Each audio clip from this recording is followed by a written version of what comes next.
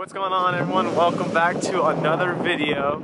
Uh, you got this over here revving his car. But uh, in today's video, uh, it's going to be some exhaust clips of his 3 inch exhaust. It's a stock Y-pipe Manzo test pipes through 2.5 inches. Aftermarket intake um, from the Y-pipe back. Tomei resonator. It's a 3 inch stainless steel inlet.